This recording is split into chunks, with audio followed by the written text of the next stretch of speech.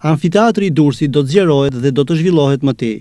Është ky projekti më i ri i qeverisë shqiptare për zhvillimin dhe zbulimin e arkeologjisë në vendin tonë. Pikërisht për zbatimin e këtij projekti, qeveria shqiptare ka akorduar një fond prej dyzet e gjashtë milionë lekësh për dëmshpërblimin e të gjitha familjeve që banojnë në ndërtesat që do të prishen si dhe një fond prej afro katër milionë lekësh për punimet dhe gërmimet që do të pasojnë më tej. Në prezantimin e këtij projekti e pranishme ishte edhe ministrja e Kulturës, Mirela Kumbaro, si dhe kryetari i Bashkisë së Durrësit, Vangjush Dako, të cilët inspektuan nga afër terrenin dhe ndërtesat që preken nga ky projekt i qeverisë. Sot jemi në një moment vërtet shumë interesant, sepse mbasi e kemi nxjerrë në dritë muret, kemi bërë ndriçimin në një projekt përbashkët me bashkinë me fondet IPA,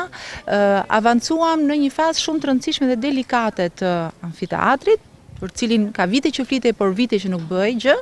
sepse duhej një vullnet vërtet për ta çliruar amfiteatrin nga ndërtesat që ndodhen brenda në arenë. Siç e shikoni, këtu jemi brenda në arenën e amfiteatrit, por ndërkohë në truall të zënë nga ndërtesa të bëra historikisht, madje që në kohën kur nuk dihej që poshtë kishte një amfiteatër. Kjo është arsyeja pse po procedojmë me faza.